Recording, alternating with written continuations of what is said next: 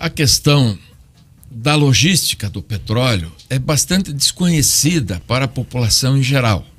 E é uma logística, assim como a da produção da energia elétrica, que tem fases e são fases diferentes. E o refino é uma das fases, assim como a prospecção, que é muito difícil. A distribuição já é outra coisa, né, Mark? É uma coisa mais muito mais mecânica e mais simplória.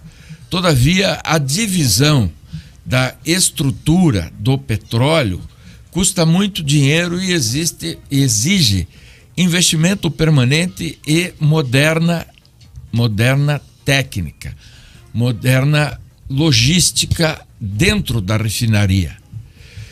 É, nós ficamos sem capacidade de investimento porque esta que seria a refinaria modelo do Brasil foi transformada numa fonte de cleptocracia de enriquecimento ilícito, de roubo à mão desarmada. E esta gente pretende outra vez. Eu ouvi uma entrevista da senhora Gleisi Hoffmann. Tem que dar o nome às pessoas e assumir as responsabilidades. Essa responsabilidade é minha pessoal, portanto. E ela dizendo que o atual governo deveria ter vergonha por causa do preço da gasolina. Ora, minha senhora, vergonha deveria ter a senhora que fez parte na, na chefia da Casa Civil da República do maior assalto que foi feito contra a história recente deste país, especificamente na questão da Petrobras. Nós precisamos ter memória. O povo brasileiro é carente de memória, do exercício de memória recente, Mark. E temos sim que fatiar e vender as fatias da Petrobras para transformar esta empresa numa empresa rentável com o objetivo final de fornecer produto e atender a demanda do povo brasileiro. O mercado serve para esse tipo de regulação. A regulação do mercado é oferta e demanda. Se existe demanda específica para a gasolina, e ela existe, gasolina, óleo diesel, o GLP, no nosso país tem que haver uma oferta compatível com o mercado. E a oferta atual é muito superior à capacidade aquisitiva do mercado brasileiro.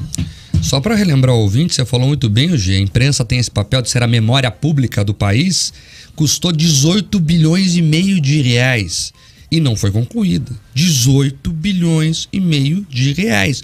Dinheiro da Petrobras, né, que adoram falar que é uma empresa do povo, então é seu dinheiro ou parte dele pelo menos, que foi gasto lá a fundo perdido. Aí tentaram vender hoje, não conseguiram vender. A Petrobras até discutiu ela mesma terminar a refinaria. É, não está bem claro isso, inclusive, se foi concluída ou não. Agora vai ser posta à venda de novo. E, enfim, assim nós vamos. Mas o número é importante: 18 bilhões e meio de reais que a dona Gleisi Hoffmann reclama agora que foram perdidos por causa da Lava Jato. Não. O que aconteceu lá foi corrupção. O problema foi a corrupção, não foi a investigação. Porque o PT quer vender isso às pessoas agora, hoje. A Lava Jato quebrou o Brasil. Não, quem quebrou o Brasil foi a roubalheira. Não, quem quebrou o Brasil foram os investigados pela Lava Jato. É. De repente, a ação da justiça brasileira está sendo maculada. E, muito embora muita gente discuta o método do Ministério Público, o método do juiz de direito, que é o mais famoso entre aqueles que atuaram, né? manipulite, mas, por favor, não é possível que as pessoas não lembrem do Barusco.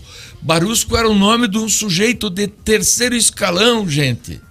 Você que está me vendo, Barusco, terceiro escalão no, na primeira pressão da Lava Jato, ele devolveu 80 milhões. E ele ganhava 60 conto por mês, irmão. Será que as pessoas já esqueceram deste fato? Só porque lá na Suprema Corte eu tenho, eu tenho horror dos advogados que fingem aqui. Eu li hoje um que escreveu assim: que o Lula foi. É, sofreu um sequestro não, companheiro, o Lula foi preso. Foi em cana, bater caneca na grade, como deveria ter batido. Bom, você levava a comida do elefante para ele lá, né, irmão? Você lembra? É, isso aí.